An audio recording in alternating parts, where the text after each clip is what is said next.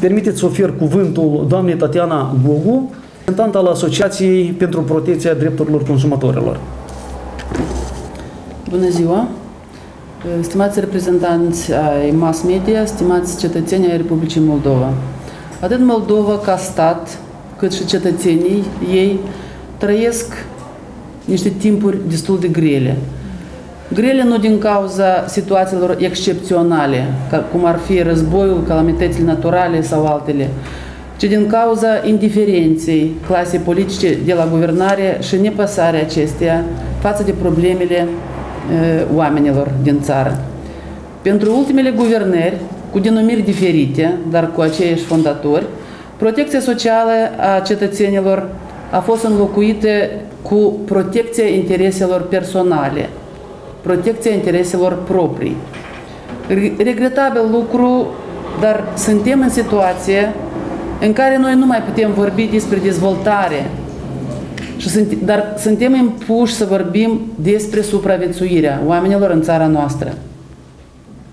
Peste jumătate din populație țării Moldova nu pot să-și achite costurile de întreținere.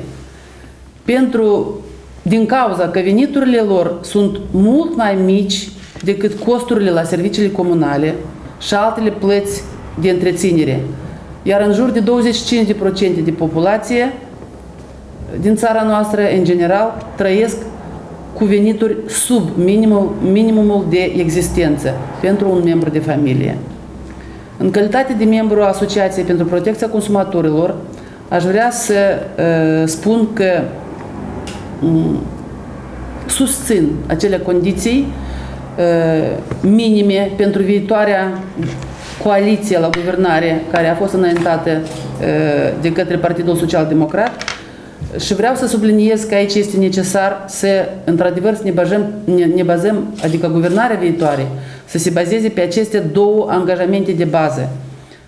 Unu, lupta cu corupție și doi, protecția socială a cetățenilor. Și în acest context, ă, aș dori să mă refer la condiția de reformare și modificare a funcțiilor ă, ANRE, care să garanteze responsabilitatea guvernului în aprobarea tarifelor cu respectarea principiilor economiei de piață și responsabilității, eh, responsabilității sociale a guvernului față de consumatori. Noi știm că pe data de 9 noiembrie 2015 au, au intrat în vigoare noile tarife majorate la energie electrică Urmează majorarea la gazele naturale, la apă, etc. Din declarațiile persoanelor de conducere, a furnizorilor, noi putem să înțelegem că uh, aceste tarife încă mai pot fi majorate și că dânsii depun toate eforturile ca aceste scumpiri să fie efectuate cât mai repede. Totodată, una din, dintre funcțiile de bază ale ANRE o constituie promovarea unei politici tarifare adecvate și respectarea drepturilor și a intereselor consumatorilor. Vă întreb pe dumneavoastră, stimați jurnaliști, și întreb pe toți cetățenii Republicii Moldova, v-a respectat ANRE drepturile și interesele dumneavoastră când au majorat tarifele? V-au întrebat de problemele cu care vă confruntați în fiecare zi? V-au întrebat de capacitatea dumneavoastră de plată? Evident că nu, nu v-au întrebat. Pentru că asta pe ei nici nu îi interesează. ANRE a fost constituită pentru promovarea intereselor furnizorilor și distribuitorilor de energie electrică, termică, gaze naturale, petrol, etc. Și nici de cum pentru interesul nostru, a populației, al cetățenilor, a consumatorilor.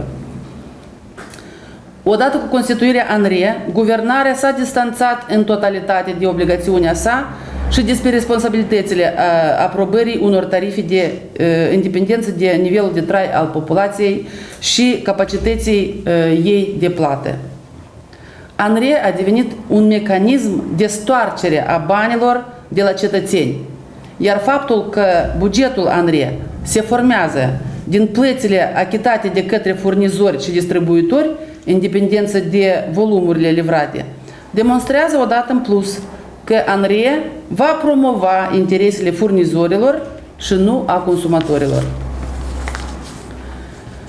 Necătând la faptul că Andrie a avut dovezi privind funcționarea schemelor de corupție, furt de bani și, majori, și majorarea artificială a prețurilor de, de, achita, de achiziție a gazelor naturale și energiei electrice, acesta nu a întreprins nimic pentru sancționarea furnizorilor și micșorarea tarifelor.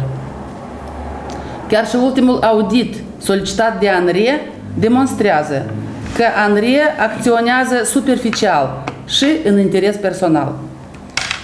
Ei au solicitat un audit prin care să vadă dacă a fost respectată metodologia de calcul în calcularea tarifelor. Pe când trebuia, trebuiau să ceară un control minuțios asupra activității Gaz Natural Fenosa și Moldova Gaz, procedurilor de negociere și semnare a contractelor, organizarea licitațiilor internaționale, compararea prețurilor, prețurilor pe piețele externe, etc. Culmea este că costul acestui audit, de care nimeni nu avea nevoie, trebuie să fie plătit, achitat tot din banii consumatorului.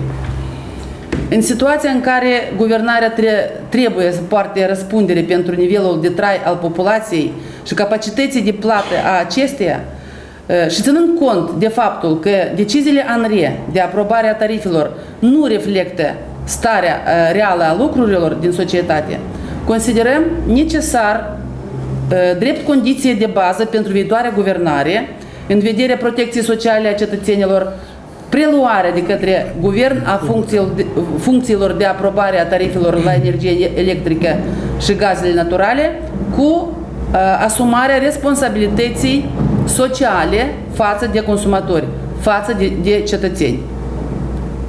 Noi înțelegem că uh, o asemenea măsură va demonstra grija guvernării față de oameni, va exclude intermediarii, va aduce o stabilitate și o regulă în formarea și aprobarea tarifelor.